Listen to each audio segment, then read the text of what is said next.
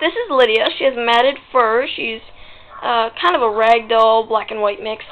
Uh, she, she has a matted little pad on her back, and Mom tries to cut her hair sometimes, and it just pulls out and makes all bloody and stuff. It's disgusting.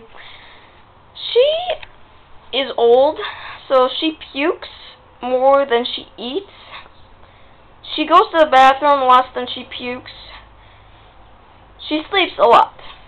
For once, she got out into the sun, so we got lucky, and she can hold her own against dun dun dun Biggie.